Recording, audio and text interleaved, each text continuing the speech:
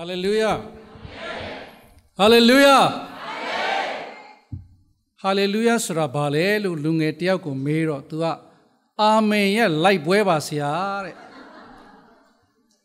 ဟာလေဆိုတဲ့ဟေဘရဲဘာသာစကားလာပါတယ်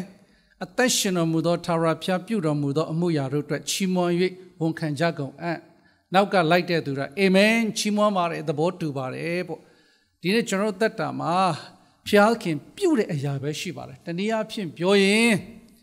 ဘုရားခင်ပြုတဲ့အမှုပဲကျွန်တော်တို့မှာရှိပါတယ်လို့ထနှုတ်ဆက်ချင်ပါတယ်မင်္ဂလာပါမင်္ဂလာပါမင်္ဂလာပါဘေးပြရစီဘာမင်္ဂလာလဲဘာမင်္ဂလာလဲ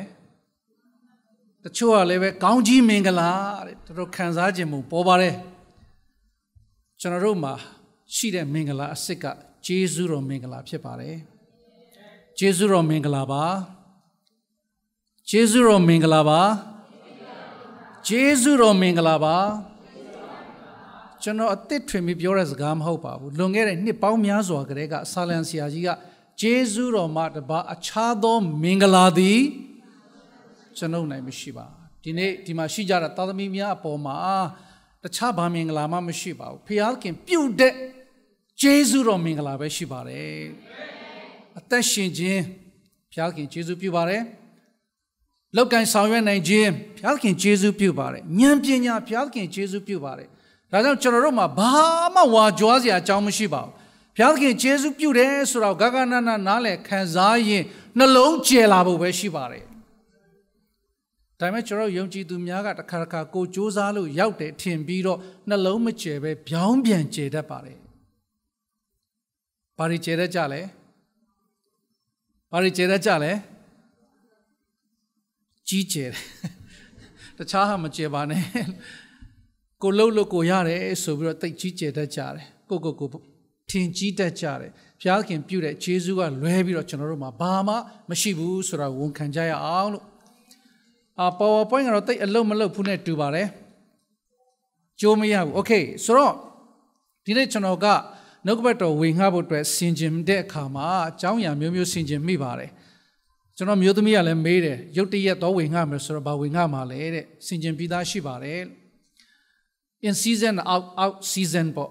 ချိန်ရှိသည်ဖြစ်စေမရှိသည်ဖြစ်စေဘုရားစကားကျွန်တော်ထဲမှာအလုံးလုံးနေပါတယ်တော့ဆင်ခြင်တဲ့ fine picture ပေါ့ကောင်းသောပုံရိပ် ကောင်းသောပုံရိပ်အကြောင်းကိုဝင်ငှရင်ကောင်းမယ် MC မှာတော့လူငယ်တွေများတယ်ပေါ့သို့တော်ညာလည်းပဲကျွန်တော်ပေါ်တက်လာပြီးတော့ဒီအစီအစဉ်ကိုကြည့်လိုက်တဲ့အခါမှာ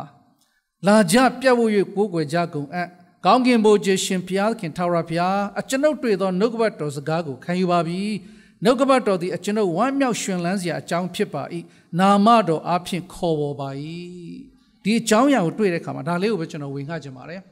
ကွန်ပျူတာလုံးမလုံးလည်းနေပါစေတော့ပြဿနာမရှိပါဘူး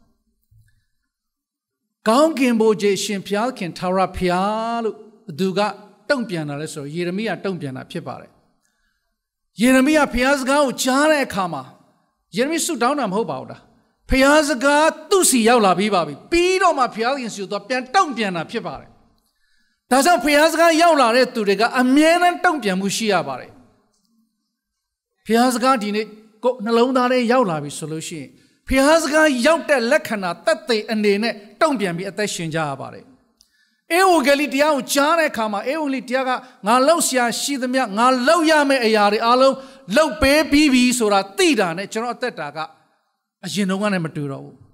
ပြောင်းလဲတော့မယ်ပြောင်းလဲခံနေပြီပြောင်းလဲသွားပြီဆိုတာမျိုးမဟုတ်ပါဘူး life changes instant အေဝံဂေလိတရားကြားရတဲ့နှုတ်ကပတ်တော်တုံ့ပြန်လိုက်ပြီဆိုတော့ငါဟာအသက်ရသောသူဖြစ်တယ်လို့တုံ့ပြန်ပြီးအသက်ရှင်တာဖြစ်ပါတယ် ယနေ့ချိန်ထိအောင်ပါပဲဧဝံဂေလိတရားကိုကြားပြီးအသက်ရှင်လာနှစ်ပေါင်း30ကျော်ပြီဘုရားခင်အမှုတော်ဆောင်ရွက်လာလဲနှစ်ပေါင်း30ကျော်ပါပြီတစ်စက္ကန့်လေးတောင်မှဘုရားခင်စကားတော်တုံ့ပြန်ပြီးအသက်ရှင်တာငါမှားလေစွာလို့နှောင်တမရပါဘူးဘုရားခင်စကားတော်ရဲ့တကိုးကအဲ့ဒီလိုအလုံးလုံးပါတယ်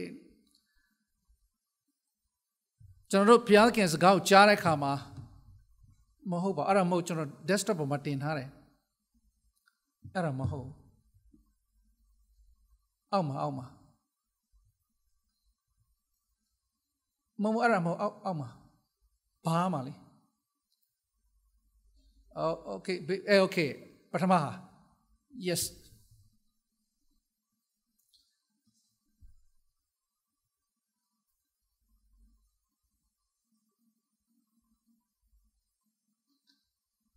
โอเคဂျေဇုတော်မင်္ဂလာပါဗောနော် ပြန်မင်္ဂလာကြတော့ဘာနဲ့စလဲဆိုတော့ဂျေဇုတော်နဲ့စတာ哦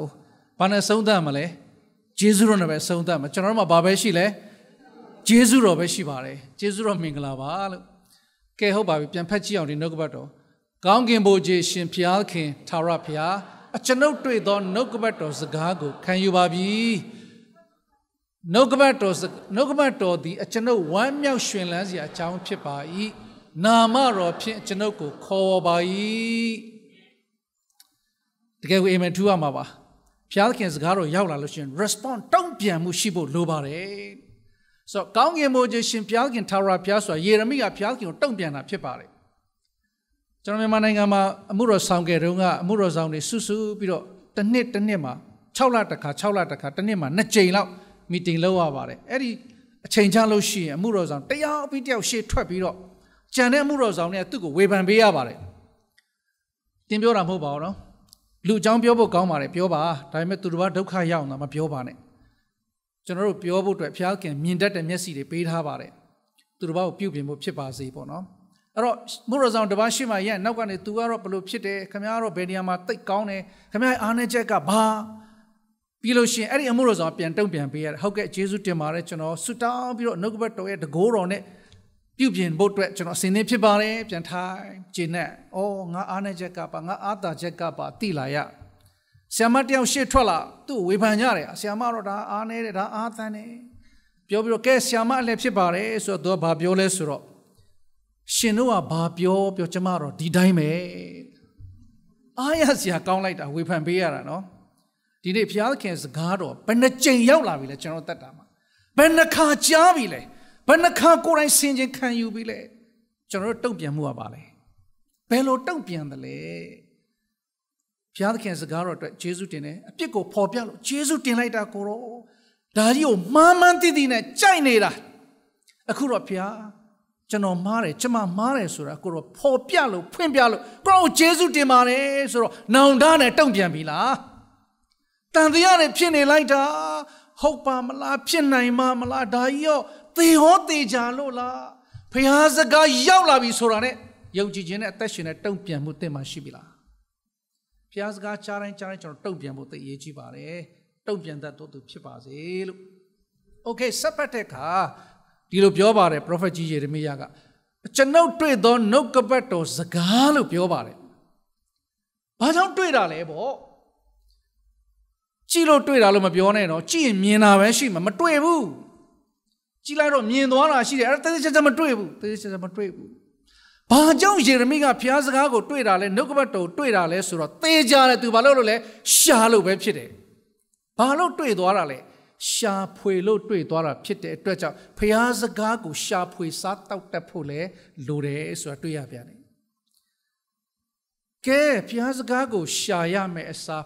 ကျွန်တော်တို့ကဘာတွေရှာတတ်ကြသလဲလောကမှာအခုကျွန်တော်တို့ထိုင်းနိုင်ငံမှာ ဘာလာရှာကြတယ်လဲငွေလာရှာကြတယ်တချို့ကလည်းငွေရှာရင်းနဲ့ဥစ္စာရှာရင်းနဲ့ကျင်ရပါရသွားတယ်တချို့ကမရတဲ့နာတွေရသွားတယ်မရှာတဲ့နာသွားရှာတာ哦အဲ့တော့ကျွန်တော်တို့ရှာရမှာဘာလဲမိတ်ဆွေတယောက်ရှိတယ်ငငယ်တွေကသူငယ်တန်းနဲ့အစတူတူတက်တာပါကျွန်တော်ထက်အရင်လဲသူဖျားသခင်သိပြီးတော့ပြောင်းလဲသွားပါတယ်အခုလည်းပဲမှုတော်ဆောင်တစ်ပါးဖြစ်နေပါလေပေါ့ငငယ်တုန်းက तू ကဆဲလိတ်တိတ်ကြိုက်တာ ဆဲလိတ်ဆွဲတယ်လို့ဆိုကြပါစို့ဘလောက်ထိဆဲလိတ်ဆွဲတယ်လဲဆိုသူ့နာမည်ကြီးများချင်းဆဲလိတ်အဲ့လောက်ထိဆွဲတာဗျာဆဲလိတ်တောက်ချင်းငါ့ကိုလာရှာဟဲ့ငါရှိတဲ့နေရာမှာဆဲလိတ်ရှိတယ်အဲ့ဒီလောက်ထိဆဲလိတ်ကြိုက်တာဘလို့မှဖြတ်ခိုင်းလို့မရဘူးအဆုတ်ထိတယ်နော်မရဘူးကြိုက်တာကြိုက်တနေ့ကျတော့ဘုရားသခင်ဒုက္ခဘတ်တော့ဖတ်ပြီးတော့သူ့နှလုံးသားထဲမှာအလုတ်လုတ်တော့စောစောစီးစီးတင်းအုပ်ဆရာစီလာပြီးတော့ဆရာကျွန်တော်ဆဲလိပ်ဖြတ်တော့မယ် ဟာလေလုယာတင်းအုပ်ဆရာသိရမလားကိုလူငယ်တယောက်ဆဲလိပ်ဖြတ်မယ်ဆိုလို့ရှိရင်တော့ဝမ်းသာတာအရက်ဖြတ်မယ်ဝမ်းသာတာပေါ့လားဘုရားကျောင်းမှာဒုထောက်ဆုတောင်းကျမ်းစာတောင်းခေါင်းကိုတင်းလိုက်သေးတယ်အာရပိုင်ရတဲ့ခါကြက်သီးတွေဝိုင်းထပြီးတော့ဆက်ကတ်တာဖြတ်ပစ်တာဆဲလိပ်ကိုသူကအဲ့ဒါနဲ့ပြီးပြီတဲ့သူ့စီမှာပါလာတဲ့ဆဲလေးရောမိကြီးရောတခါတဲ့ဘုရားကျောင်းဘေးမှာရှိတဲ့ခြုံပုတ်ထဲကိုတွားငါပြက်ပြီဆွပြစ်လိုက် ကျွန်တော်ကကြည့်နေတယ်သူဘာလို့ဒါလဲငါဆဲလေးဖြတ်ပြီးဆူတောင်းပြီးဟာပြက်သွားပြီဟုတ်ပါပြီဆဲလေးပြက်မြင်ဒီလောက်ဆဲလေးကြိုက်တဲ့လူဆဲလေးပြက်တယ်ဆိုတော့ဝမ်းသာစရာပေါ့ကွာဆိုပြီးတော့သူထွက်သွားတဲ့အချိန်မှာကျွန်တော်အဲ့ဒီဆဲလေးနဲ့သူပြစ်လိုက်တဲ့ဆဲလေးနဲ့မိချစ်ကိုလိုက်ရှာပြီးတော့ကျွန်တော်တင်ထားလိုက်နည်းနည်းကြာတဲ့ခါမှာညနေလဲညနေတော့မဆောင်သေးပါဘူးသူအဲ့ဒီခြုံကြားထဲမှာကုတ်ကုတ်ဟိုးဟိုးခုတ်ခုတ်နဲ့လိုက်ရှာဟဲ့ကောင်မင်းဘာလုပ်တာ တကယ်တော့ကွာသူတို့ကငါ့ကိုဖြတ်နိုင်တာပါငါသူတို့မဖြတ်နိုင်ပါဘူးကျွန်တော်လည်းပြောတယ်ရှာရှာရှာတွေ့အောင်သာရှာပြီတော့ဟေးသူဘလောက်ရှာရှာတွေ့မလားဘယ်တွေ့မလဲဘာလို့ရှာနေတာလဲမရှိတဲ့အရာကိုသွားရှာနေတာ ਉਹ ဒီနေ့ကျွန်တော်တို့ရှာတဲ့အရာတကယ်ရှိတဲ့အရာလားပြန်စဉ်းစားရအောင်သင်ဘာပဲရှာရှာရှိတဲ့အရာဖြစ်ဖို့အရေးကြီးပါတယ်ဒီနေ့ မပြောက်တဲ့အရာဘယ်တော့မှမပြတ်သွားတဲ့အရာဖရားစကားပဲဖြစ်တယ်ကောင်းကင်နဲ့မြေကြီးမတီတော်လဲငါစကားတီမယ်လို့သူပြောပါတယ်ကျွန်တော်တို့ဒီနေ့ရှာမှာပျောက်သွားမယ့်အရာကိုရှာမှာလားထာဝရတည်နေတဲ့အရာကိုရှာရမှာလားဒါကိုဆင်ခြင်ရအောင်ဒါကိုဆင်ခြင်ရအောင်မရှိတဲ့အရာမရှာပါနဲ့မရှိတဲ့အရာထွက်ကျွန်တော်အချိန်အကုန်အကုန်မခံပါနဲ့နောက်ပြီးတော့ဘာလို့ရှာတတ်ကြလဲမမြဲတဲ့အရာကိုလည်းရှာတတ်ကြတယ် ဒါပေမဲ့ဂျေဇုတော်တော့ချီးမွမ်းရတာပေါ့မမြဲတဲ့အရာရှာရင်းနဲ့မြဲတဲ့အရာကိုကျွန်တော်ကူးကူးသွားရတာပေါ့ဒီခန္ဓာမမြဲပါဘူးဒါပေမဲ့လေမမြဲတဲ့ခန္ဓာခဏရတဲ့အချိန်လေးမှာလေဘဝရတဲ့အချိန်လေးမှာအတ္တတာကိုကူးပြောင်းသွားစေတဲ့ဖရားစကားရဖို့ရည်ကြီးပါတယ်ဘဝဆိုတာမွေးခြင်းနဲ့စတယ်တေခြင်းနဲ့ဆုံးတယ်ပြီးပါပြီအခုကျွန်တော်တို့သိကြိုက်တဲ့စာရေးဆရာတယောက်ဆုံးသွားပါပြီသူ့ဘဝဆုံးသွားပါပြီပြီးသွားပါပြီ ဒါပေမဲ့အဲ့ဒီမမြဲတဲ့ခန္ဓာကိုယ်လေးရတဲ့အချိန်မှာထာဝရနဲ့ဆိုင်တဲ့အတ္တတာကိုမချိတ်ဆက်မိခဲ့ဘူးဒါဝမ်းနေစရာကောင်းတာဒီနေ့ကျွန်တော်တို့များခိတ္တမမြဲတဲ့ဘဝလေးရတဲ့အချိန်မှာပြင်ထာဝရဆိုတဲ့အတ္တတာတွေကိုနှုတ်ကပတ်တော်တရားနဲ့သခင်ဖျားနဲ့ချိတ်ဆက်ပြီးဝင်စားတဲ့ခွင့်အတွက်ယေရှုတော်ချီးမွမ်းရအောင်အဲ့တော့မြဲသောအရာရှိသောသူများမြဲသောအရာကိုအာယုံစိုက်ပြီးရှာဖို့မကောင်းဘူးလားနောက်ဘာကိုရှာတတ်ကြသေးလဲလူတွေက အမွတ်မပြေတဲ့အရာကိုရှာတယ်ဘယ်လောက်တောက်တောက်ကျင်နေသွားတယ်ဆိုတာမရှိဘူးဘယ်လောက်စားစားကျင်နေသွားတယ်ဆိုတာမရှိဘူးအမွတ်မပြေနိုင်ဘူးဒါပေမဲ့ဖျားစကားလေရှာပြီးစားကြည့်ပါအတွင်းထဲမှာအားရှိုံများမကမမိတယ်ကျွန်တော်ကရန်ကုန်မှာကြည့်မြင်နိုင်မှာနေတော့ကအေးုံလေးလောက်တယ်တောက်ကြနေဆိုလို့ရှိရင်အခုကျွန်တော်တို့ဆိုတော်ဒီဟိုဆိုတော်တချို့ပေါ့ပြီးတော့ about ဆိုတာကြားဘူး z about ဆိုတာကြားဘူးလိမ့်မယ် model ဟိုတုန်းကသူတငယ်ချင်းနဲ့စူးပြီးတော့သူတို့အိမ်မှာလည်းတစ်နှစ်လောက်သူ Bible study လုပ်တယ်ချမ်းသာသင်တယ်အဲ့တော့ကျွန်တော်အခန်းလေးမှာတောက်ကြနေဆိုလို့ရှိရင်မယုံကြည်သေးသောသူများလေးလာသူများအတွက် white book လေးထောင်းပြီးတော့ဝင်ငါဘုန်းကြီးလူထွက်တွေရောက်လာတယ်မေတီလာလူထွက်တွေရောက်လာအဲ့မှာဘုန်းကြီးလူထွက်တပားနဲ့တနေ့ကုန်တရားဆွေးနွေးတော့သိကောင်းတာပဲရှာတဲ့လူနဲ့ထောင်ရအရာကိုရှာတဲ့လူနဲ့တွေ့တာတိတ်ကျင်တဲ့ဆရာကောင်းတယ်သူလည်းပဲ တွေ့ကြုံပေါင်းမြောက်များစွာဖြတ်တန်းပြီးပြီဆိုတော့ပြောရဆိုတာတိတ်ကောင်းနောက်ဆုံးတော့ဘလောက်ပဲတွေ့ကြုံကောင်းပါစေကောင်းမြတ်တဲ့ဖရားစကားရသွားတဲ့အခါမှာသူ့တက်တာပြောင်းလဲသွားတဲ့အခါမှာသူ့ကားခိတ်လိုက်ဖို့တော့သူဘာပြောလဲဆိုဆရာလေးရေတဲ့ကျုပ်ကလေတဲ့အမွတ်ပြေသွားလို့လိုချင်တဲ့အရာရသွားလို့မြေကြီးနဲ့ခြေထောက်နဲ့ထိတယ်ကိုမထင်ဘူးနော်သိချင်တဲ့ဆရာကောင်းတာပဲဘတော့မှအမွတ်မပြေတဲ့နှုတ်ကပတ်တော်ထာဝရသက်ဒီဟုသောသခင်ယေရှုကိုရပြီးပြန်သွားတာ ယေရှုကလွဲပြီးကျွန်တော်တခြားຢာတွေကအမွတ်ဘယ်တော့မှမပြေစေပါဘူးဒါကြောင့်နှုတ်ကပတ်တော်ဒီဟုသောအမွတ်ပြေစေသောအရာကိုရှာဖွေသောသူဖြစ်ပါစေလို့ကဲဟုတ်ပါပြီနှုတ်ကပတ်တော်ဘာကြောင့်ကျွန်တော်တို့ကနှုတ်ကပတ်တော်ရှာခိုင်းတာလဲဘာကြောင့်နှုတ်ကပတ်တော်ရှာဖို့လိုတာလဲနံပါတ်1နှုတ်ကပတ်တော်ဒီလိုဖြစ်လို့ပါဘုရားခင်နှုတ်ကပတ်တရားတော်သည်အသက်ရှင်ခြင်းတကိုးနှင့်ပြုပြင်ခြင်းတန်လျက်တကာတို့တဲ့ထက်ချင်းနှင့်ပြည့်စုံသည်ဖြစ်၍အသက်နှင့်စိတ်ဝိညာဉ်ကို၎င်း အယိုးစိတ်နှင့်ခြင်းစီကို၎င်းပိုင်းခြား၍ထုတ်ချင်းခွင်းတတ်၏စိတ်နှလုံးကြံစီများကိုလည်းသိမြင်တတ်၏ကျွန်တော်အလွတ်ရပါတယ်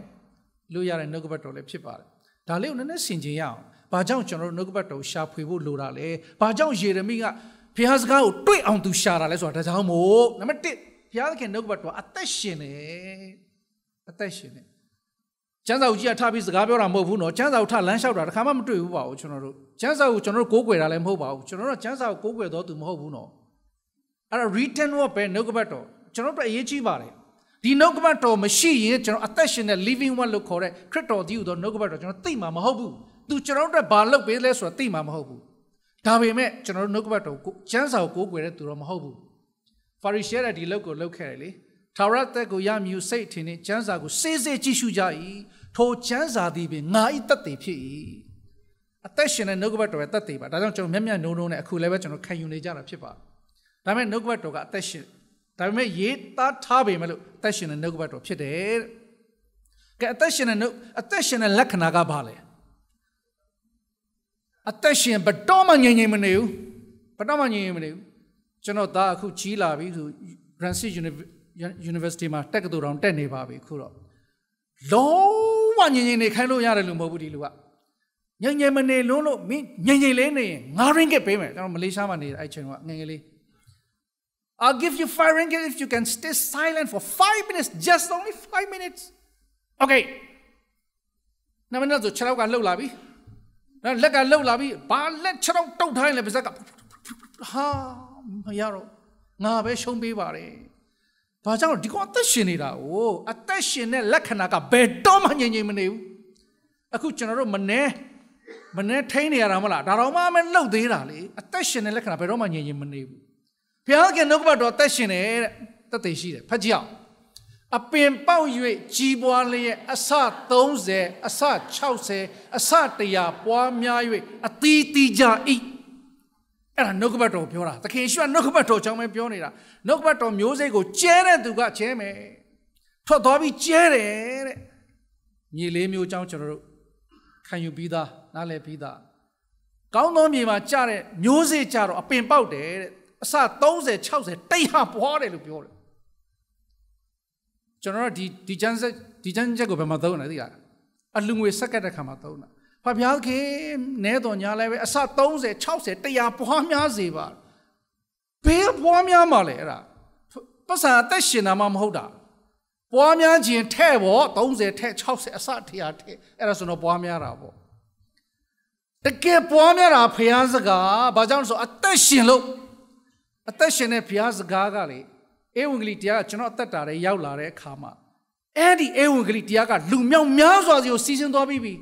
ကျွန်တော်လိုဘုရားသခင်ကိုသိကျွမ်းတဲ့လူတွေအများကြီးဘုရားသခင်ကဖြစ်စေပြီးပြီ။ဘာကြောင့်လဲကျွန်တော်ကျွန်တော်ကြောင့်မဟုတ်ဘူး။ကျွန်တော်ပြောလို့ပြောင်းလဲတဲ့သူတယောက်မှရှိမှာမဟုတ်ဘူး။ဒါပေမဲ့ဘုရားစကားကအသက်ရှင်တဲ့အတွက်ကြောင့်အသက်ရှင်တဲ့ဘုရားစကားကိုကြားပြီးတော့သူတို့တက်တာပြောင်းလဲသွားတယ်။အသင်းတော်ဘာကြောင့်တိုးပွားနေလဲအသက်ရှင်သောနှုတ်ကပတ်တော်ကြောင့်ဖြစ်တယ်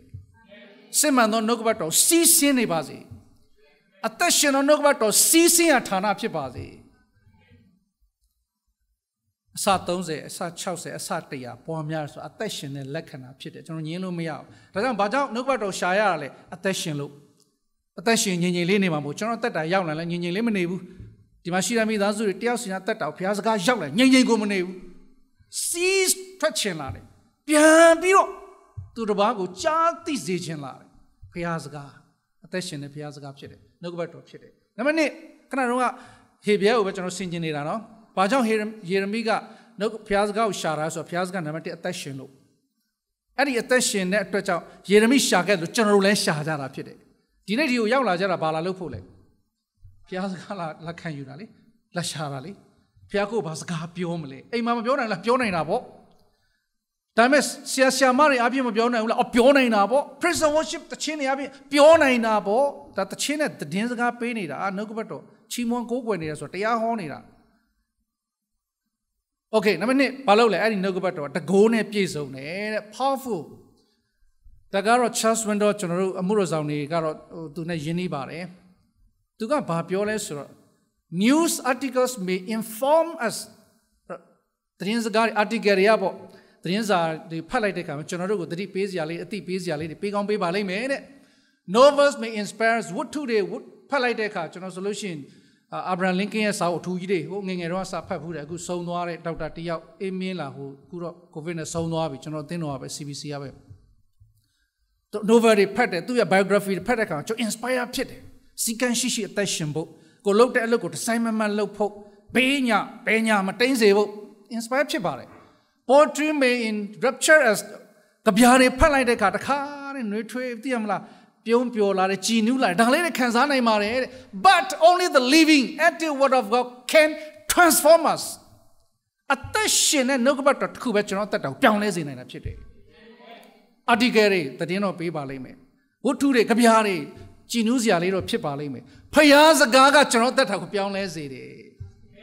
ဘာကြောင့်ရှာဖို့လိုတာလဲကျွန်တော်အသက်တော်အမှန်တကယ်ပုံသွင်းပြီးတော့ပြောင်းလဲစေတဲ့ဖယားစကားကိုရှာဖို့ဖြစ်တယ် living and active word of God can transform us ကျွန်တော်တက်တာကိုပြောင်းလဲဖို့ဖြစ်တယ်တဲ့။အော်ဒါကတော့ဘုသူတအနေနဲ့ပါ Library of Congress ဆိုတာရှိတယ် Washington DC မှာရှိတာပါလွန်ခဲ့တဲ့နှစ်ပေါင်း222နှစ်ရှိသွားပါပြီသူတို့ဒီ library ကြီးစခဲ့တာနော်။စာအုပ်ဘယ်လောက်ရှိလဲဆိုတော့ကဏ္ဍပေါင်း73တန်း130လောက်ရှိတယ်တဲ့။ပြီးတော့မှစာအုပ်ရေကတန်း290ကျော်တယ် အဲ့ဒီစာအုပ်တွေကိုချပြီးတော့တန်းစီလိုက်မယ်ဆိုမြေကြီးပေါ်မှာတန်းစီလိုက်မယ်ဆိုရင်မိုင်ဘယ်လောက်ထိဝေးမလဲဆိုတော့မိုင်ပေါင်း900နဲ့30လောက်ထိရှည်နိုင်တယ်တဲ့အဲ့ဒီစာအုပ်တွေအဲ့ဒီစာအုပ်တွေအဲ့ဒီ library မှာရှိတဲ့စာအုပ်တွေဒါပေမဲ့ပြဿနာကအဲ့ဒီ library မှာရှိတဲ့စာအုပ်တွေအကုန်လုံးဖတ်ပြီးရင်တော့ကျွန်တော်တို့ဘဝအသက်တာကို transform လုပ်နိုင်တဲ့အရာတွေ့မှာမဟုတ်ဘူးစိတ်ပိုင်းဆိုင်ရာပြုပြင်ပေးလိမ့်မယ်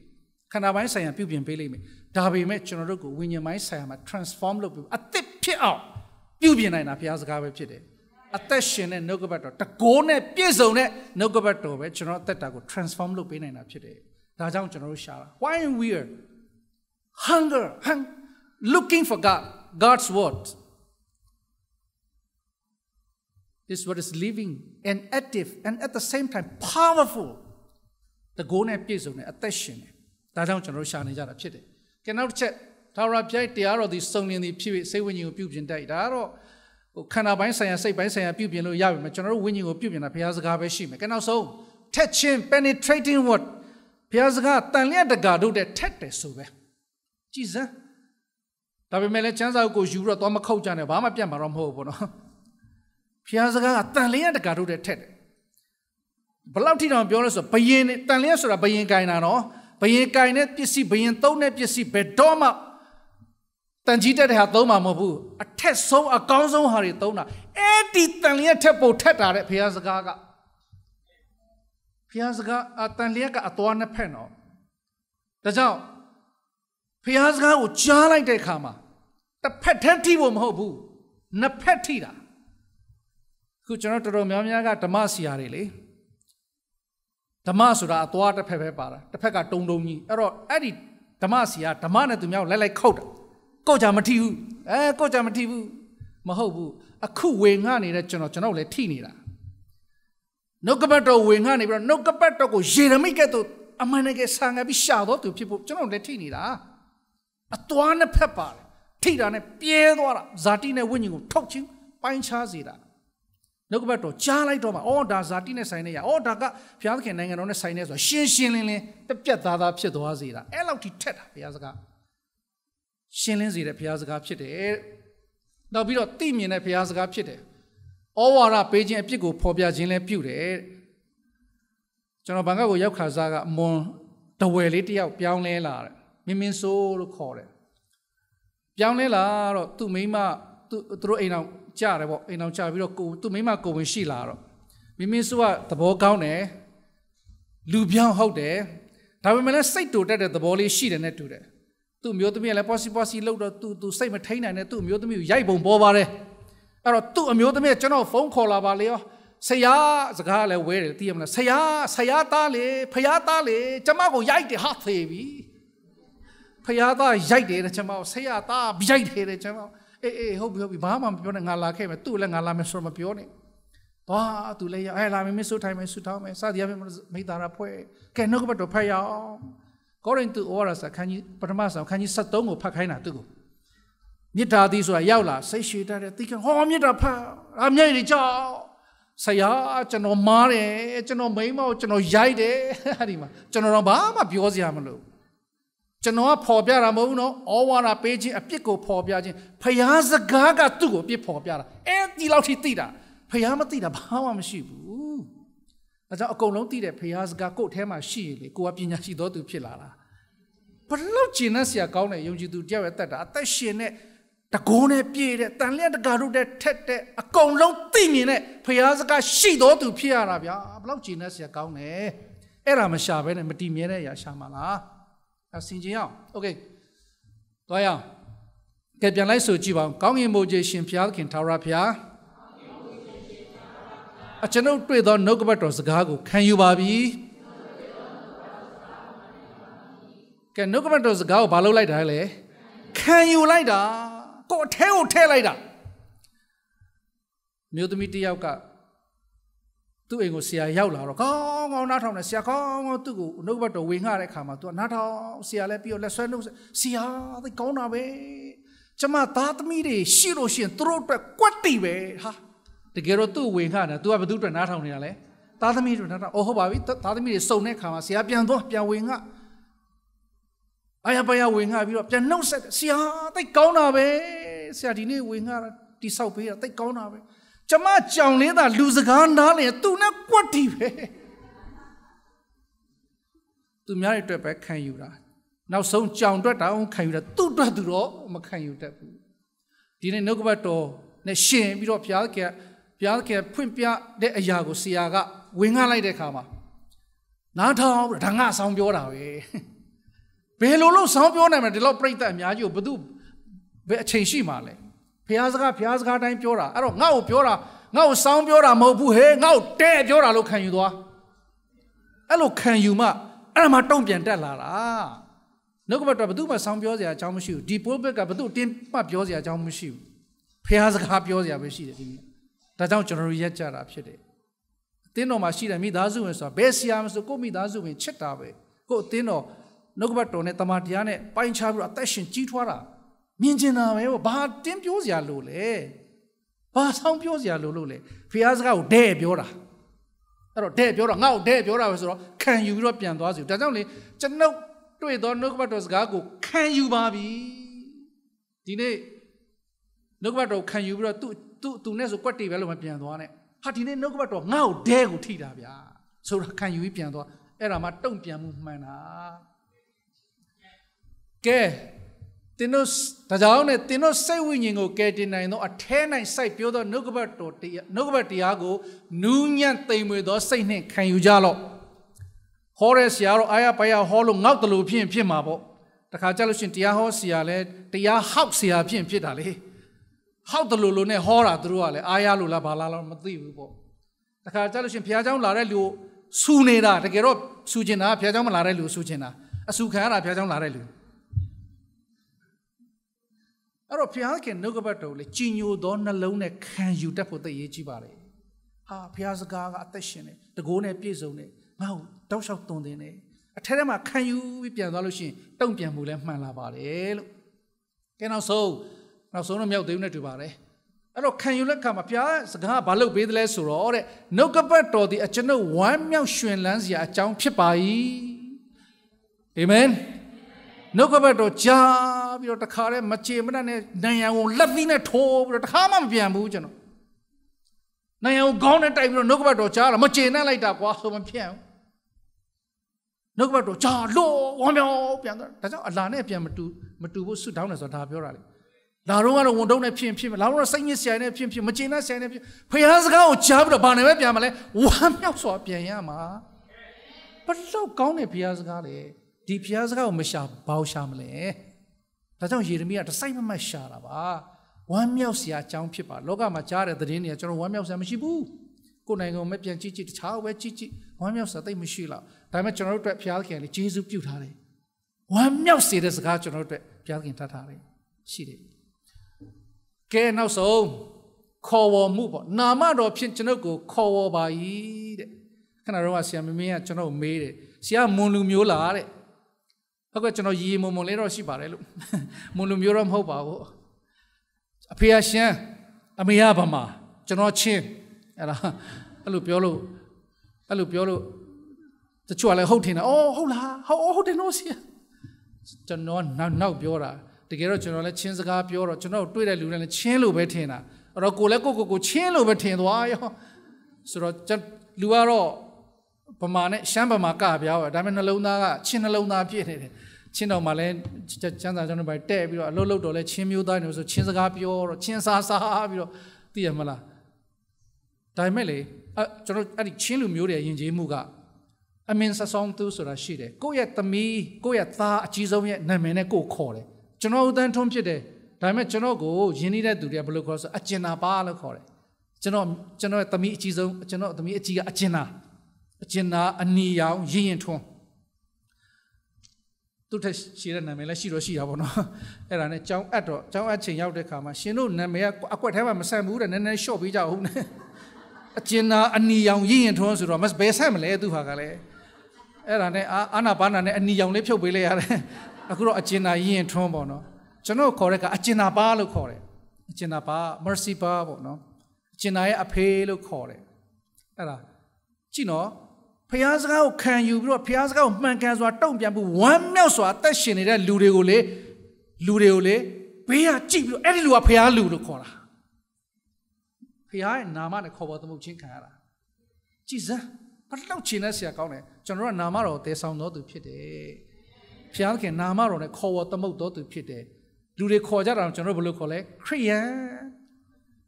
ခရစ်တော်နာမပါတယ်လေခရိယန်ဘုရားခင်နာမတော်နဲ့ခေါ်ဝသမုတ်တော်ခံရတော်သူဖြစ်တယ်ဒါကဘုရားစကားဒါအဲ့လောက်ထိကျွန်တော်တို့ပြုပြင်ပေးပါတယ်ဒါကြောင့်ငါတို့ဒီဖတ်ကြအောင်ငါတို့ဒီကြားရသောဒေသနာတော်ကိုမမေ့မလျော့မီအကြောင်းစိတ်နှလုံး၌တာ၍မှတ်မိဆွဲလန်းခြင်းရှိရကြမည်ဘယ်မှာမှတ်မှာလဲ ဘယ်မှာမှတ်မှာလဲစိတ်နှလုံးထဲမှာမှတ်ထားအကုန်လုံးမှတ်မိခြင်းမှမှတ်မိမယ်ကျွန်တော်တို့လည်းပဲဝင်ခတ်လာတဲ့နှစ်ပေါင်းများနေပါပြီအကုန်လုံးအလွတ်ပြောဆိုကျွန်တော်မပြောနိုင်ပါဘူးဒါပေမဲ့ဘယ်ထဲမှာရှိနေလဲရှိတယ်ရှိတယ်အကြောင်းအရာတစ်ခုကြုံလိုက်ဖះစကားအသက်ရှင်နေဆိုတာလေအဲ့ဒီမှာအားဖြစ်စေတာကျွန်တော်တို့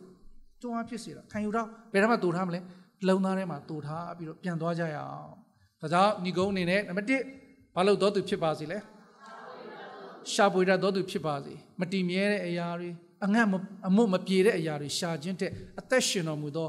တကိုးနဲ့ပြည့်စုံသောနှုတ်ကပတ်တော်ရှာတော်သူဖြစ်ပါစေ။ဘာကိုခံခံယူတတ်တော်သူဖြစ်ပါစေလဲ။အဲ့ဒီနှုတ်ကပတ်တော်ခံယူတတ်တော်သူဖြစ်ပါစေ။ကျွန်တော်တို့ကတချို့က very sensitive စကားလေးတစ်ခွန်းလောက်မမားလိုက်နဲ့အဲ့တော့ကောင်းစားသွားတာသူကကျွန်တော်ရန်ကုန်မှာစားခံရတော့သိရမှာငါစားလိုက်တာလဲသွားပြီဆိုတာလေလိုက်လိုက်စားတာသူများကိုအစားမခံစေနဲ့ ကျွန်တော်ဘာပဲခံယူမလဲစကားကိုပဲခံယူရအောင်ပြီးတော့မှဖျားစကားမှန်တကယ်ရသွားပြီဆိုလို့ရှိရင်ခံယူသွားပြီဆိုရှင်ဘာပဲထွက်လာမှာလဲညီးတွားတန်ထွက်လာမှာမဟုတ်ဘူးဟောဘာမှမသိဘူးဘဝကြီးရလေကွာငါချမ်းမဒီလိုဖြစ်တာ no no no no ဘုရားစကားအမှန်တကယ်ရှင်းခက်ခဲတဲ့အခြေအနေပါမာပင်လျင်ဝမ်းမြောက်နေတာ ဆရာဒေးဗစ်ယုံဖို့မဆုံးခင်တုန်းကကျွန်တော်သူသူဗီဒီယိုရိုက်ထားတာလေးတွေ့တယ်။ तू ကတော့ on dead bed လေးနော်။ तू သေတော့မှာပါပဲ။ဒါပေမဲ့ तू သူကြည့်ပြောင်းတာသားသမီးတွေမြင်မြင်တဲ့ချီးမွား This is the life that we have here on earth ဒါစကားတော်နဲ့အသက်ရှင်တဲ့လူတွေအသက်တာဘယ်လိုအခြေအနေမျိုး on even on that bed နော်တေခံနီးနီးကဒင်းမမနေတော့ဝမ်းမြောက်စွာတက်ရှင်တဲ့သူဒါကြောင့်ဆရာကြီး David Paulson ကသူတစ်ခေါက်ပြောဘူးတယ်ဟဲ့တဲ့ခရိယန်အတုပသိချင်သူမျိုးတွေကယုံကြည်သူမဟုတ်ဘူးတဲ့အဲ့ဒါ ခရိယန်အတုပသိချင်ဘယ်လိုသိတယ်လဲဆိုတာသိချင်လာခဲ့ကြအသေးပြမယ်ပေါ့နော်ကြည်စမ်းဝမ်းမြောက်တဲ့သူအဲ့အဲ့ဒီထိသွားတယ်ဖះစကားကျွန်တော်အဲ့ဒီပို့တယ်လို့ပြီးတော့မှဖျားခင်နာမတော်နဲ့ခေါ်ပေါ်သမုတ်ချင်းခံရတဲ့သူဖျားလူဖြစ်တယ်လို့ခေါ်သမုတ်ချင်းခံရတဲ့သူအနေနဲ့သက်ရှင်နိုင်ဖို့ဖျားခင်နှုတ်ကပတ်တော်ကအသင်တို့ကိုအထူးကျေးဇူးပြုပါစေ။